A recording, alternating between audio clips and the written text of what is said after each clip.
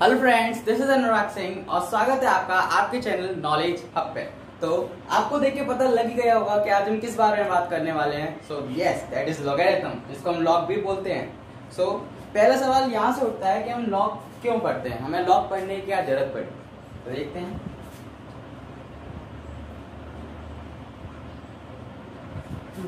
Log होता क्या है? Tells us how much power raised to this number how much power raised to this number to get that number मतलब हम ऐसी क्या पावर रखें इस नंबर पे कि हमें ये नंबर मिल जाए? फॉर एग्ज़ाम्पल एक्स की ऐसी क्या वैल्यू होगी? जो हम टू में डालें तो फाइव मिल जाए हमें। तो आप बोलोगे सॉरी एक्स की ऐसी क्या वैल्यू होगी? जो थर्टी टू मिल जाए। तो आप बोलोगे एक्स की value five simple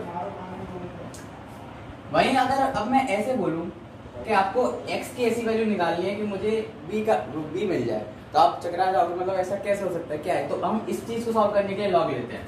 On taking log both sides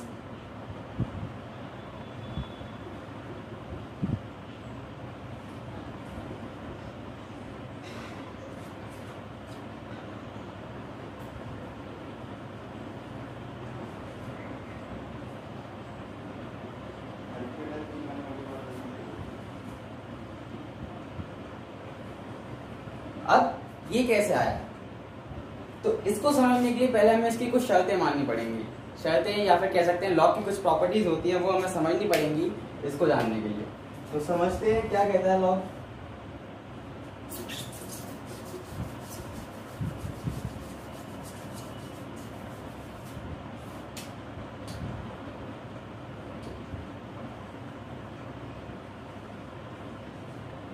property number one log कहता है, आपने सुना होगा, ये जो वैल्यू होती है, ये होती है बेस और यह होता है कुछ भी नंबर अगर बेस की और नंबर की वैल्यू सेम है, कुछ भी हो suppose log with base two two log with base three three log with base four four तो इसकी वैल्यू वन होती है. सेकेंड प्रॉपर्टी log वन की वैल्यू ऑलवेज ज़ीरो जहाँ पे हमारा a पॉजिटिव होता है और a not equals to one तीसरी प्रॉपर्टी हमारी आती है log. एक बात और, अगर हमें क्वेश्चन में बेस गिवन नहीं है तो हम ऑलवेज उसको e मान के चलेंगे।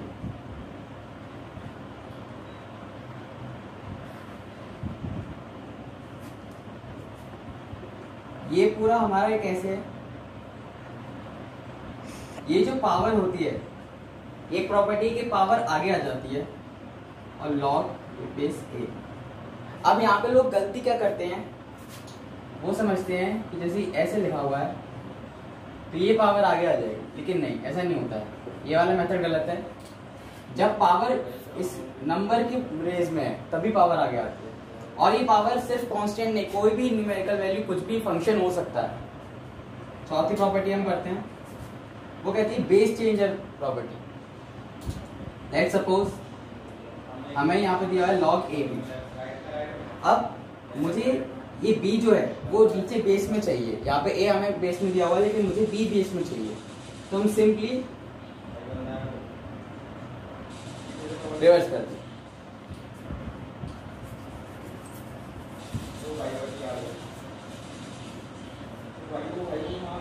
नेक्स्ट प्रॉपर्टी हमारी जो आती है वो ये अब ये भी बेस चेंज प्रॉपर्टी है।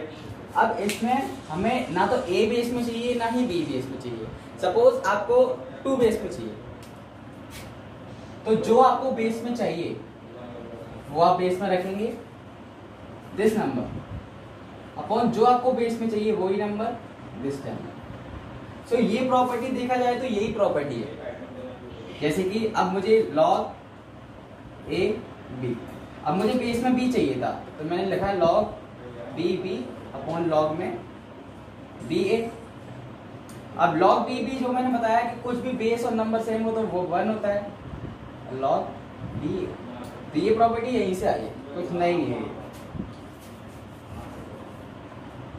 नेक्स्ट प्रॉपर्टी जो हमारी आती है वो आती है a raise to the power log with अब ऐसे लिखा हुआ है तो हम क्या करेंगे so, ये जो है ये दोनों आपस में इंटरचेंज हो जाते हैं। इसको हम लिख सकते हैं सी बेस से हम छेड़छाड़ी नहीं करते बेस सेम रहता है। C raise to the power log b a next property आती है लॉग कहता है कि अगर बेस सेम है और नंबर डिफरेंट है। बेस सेम है और नंबर डिफरेंट है। तो ये मल्टीप्लाई हो जाते हैं। नेक्स्ट प्रॉपर्टी लॉग कहता है कि अगर बेस सेम है और वो नंबर अलग है और डिफरेंट में है तो ये divide log with base a b upon note कीजिए इतना। जब स्क्रीनशॉट ले लीजिए। नेक्स्ट हमारी प्रॉपर्टी है, वो है लॉग बेस विद ए की power b and c power अब आप सोचेंगे ये तो अलग ही चीज़ है भाई। बेस की भी पावर है नंबर की भी पावर है, इसका क्या करें करना कुछ नहीं है। पावर्स को एक साथ लिखना है। बेस सेम रहेगा। कुछ नहीं करना। पावर्स जो है वो ऐसे आएँगी? Lot now move to the questions क्योंकि आपको पता है मैथ्स में सिर्फ़ थ्योरी पढ़ी और क्वेश्चंस में लगाया तो कोई फ़ायदा नहीं है मैथ्स पढ़ने तो आपको आपका क्वेश्चन देख क्या होगा? Log with base root three root x equals to three find x so video को पॉज करके ट्राई करें। कर कर लिया होगा। देखिए हम इसमें कौन सी प्रॉपर्टी लगाएँगे अपनी? Log a raise to power b raise to power अब हमें पता है कि कोई भी चीज़ रूट में लिखी हो तो हम उसको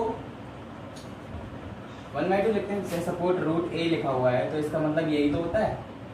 A raised to power one by two three की power one by two x की पावर वन बाई टू अब इस प्रॉपर्टी के हिसाब से हमारी जो पावर्स हैं, वो डिवाइड में आती हैं बेस सेम रहता है, और ये तो one by two upon one by two log with base three x equals to three ये कट गया log with base three x equals to three तो x की वैल्यू कितनी हो जाएगा? ये इसके पावर में जाएगा। X equals to three three nine three जा। ट्वेंटी आई होप आपको समझ में आया होगा। ये वाली प्रॉपर्टी हमारी शायद रह गई थी। Log with base a x equals to b ये वही है हमारी। अब अगर हमें x की वैल्यू चाहिए हम सीधे लिख देते हैं इसकी पावर में चली जाती है। नेक्स्ट क्वेश्चन स्क्रीन पे क्या होगा इसे पॉज करके ट्राई ज़रूर करें। One two three I think कर लिया होगा। जिसने नहीं करा वो देख। हमने अभी पढ़ा कि हमारी जो log a अपॉन बी होता है। प्रॉपर्टी सेम वही तो है। इसको हम कैसे लिखते हैं? Log a माइनस log अब यहाँ पे बेस सबका सेम है, क्योंकि हमें कुछ भी नहीं दिया बेस में तो हम बेस ई मान के चलते हैं। इसको हम लिखते हैं log a cube b cube minus log c cube plus log log d cube plus log c cube d cube minus log a cube minus three log d square अब हम देखेंगे कि हमारी कौन सी वैल्यूज़ कट रही हैं। जैसे कि मैंने ए क्यू बी क्यूब और लॉग ए क्यूब को लिया। इन दोनों को मैंने साथ में लिया। अब log a minus log b क्या हो जाएगा ये log a cube b cube upon a cube same इसके साथ। Log b cube c cube upon ये। Log b cube c cube upon c cube plus log c cube d cube ये वाली upon minus of three log d square c ये cancel out हो जाएँगे। या हमारा log of b cube plus log of b cube plus log of c cube minus three of log d square c log b cube plus log b cube two log b cube plus log of c cube minus three log b square c अब मैंने बताया था कि यहाँ पर कोई power होती है, वो आगे आ जाती है तो यहाँ से ऊपर भी उठा सकती है। तो जाएगा log b raise to power six plus log c cube minus three log b square c log a plus log b log a b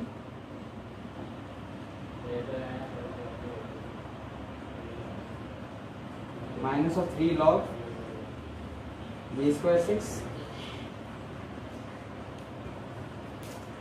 ये वाली पावर भी ऊपर ले जा सकते हैं log b six c cube minus ये ऊपर जाएगी तो b cube six cube log b cube b six six cube which is zero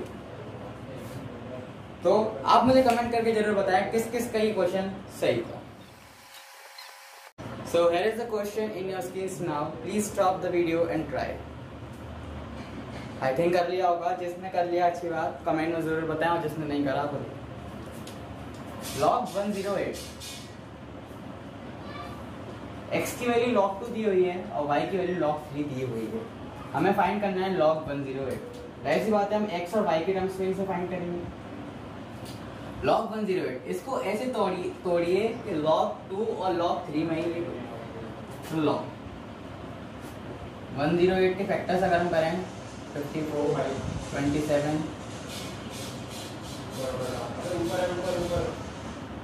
so two square into three की पावर थ्री अब हम इसको लिख सकते हैं लॉग ए बी यानी log a plus log b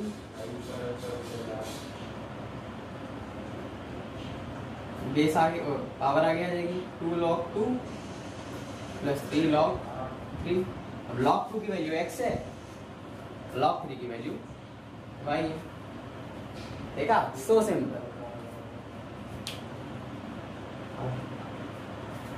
so this is the end of our section and these three questions are your homework questions जो बच्चा मतलब जो भी स्टूडेंट मुझे ये तीन क्वेश्चंस के आंसर कमेंट में देगा मैं उसका नाम अपने नेक्स्ट अपकमिंग वीडियोस में ज़रूर लाऊँगा। सो so, स्क्रीनशॉट ले लीजिए।